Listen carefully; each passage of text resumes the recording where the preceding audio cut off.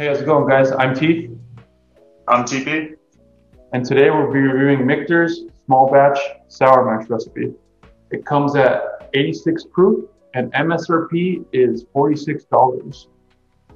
Yeah, so sour mash, if you don't know, uh, most American whiskeys actually are sour mashes. It's a technique used by older distilleries where you keep some of the fermented product in there. Uh, people say it gives it a better, consistent taste. Main thing, it uh, prevents contaminated batches. Um, same concept as sourdough. You know, use some of the old dough to make some of the new bread.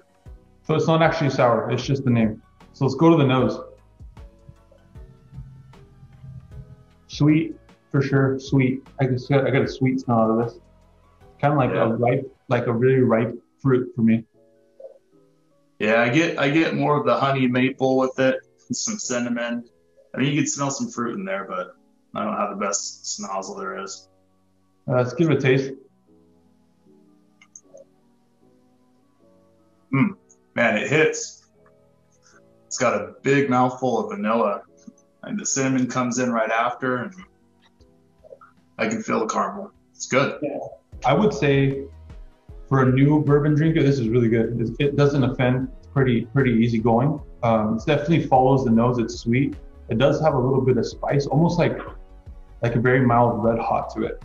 And it kind of finishes. It has a kind of a lasting finish. For 86 proof, it's actually a pretty strong finish. Yeah. So, yeah, the spice spice hits uh, lingers on the tongue for probably a solid 10, 15 seconds, and then goes into that red hot cinnamony flavor, and then kind of taps out with some sweetness. It's good. It's a good drink.